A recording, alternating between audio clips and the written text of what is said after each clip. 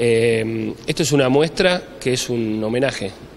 a José Luis Cabezas que le hace Radio Nacional. Radio Nacional tiene 50 emisoras en todo el país y en este mismo momento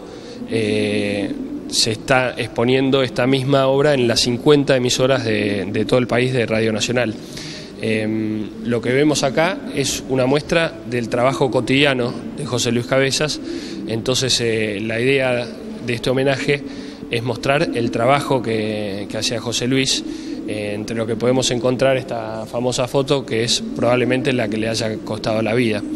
Eh,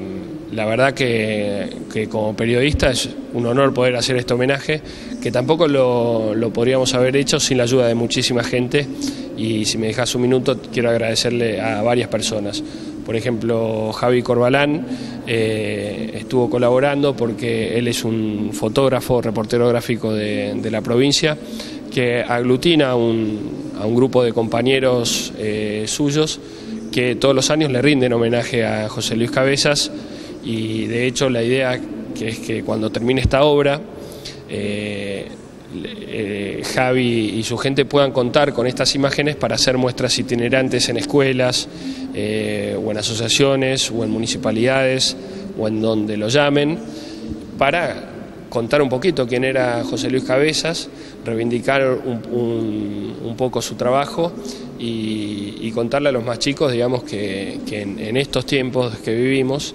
eh, hay gente que da la vida, sigue dando la vida para eh, contar la verdad. ¿no? Entonces, eh, la verdad que es un tremendo orgullo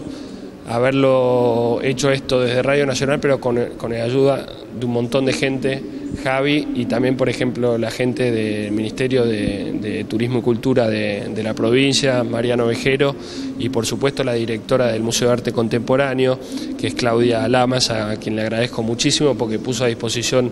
una sala que es un lujo eh, para esta exposición eh, y sin la ayuda de todos ellos no tendríamos hoy, que se cumplen 20 años, esta, esta muestra ¿no? acá en el centro de Salta frente a la Plaza 9 de Julio, así que muy contentos.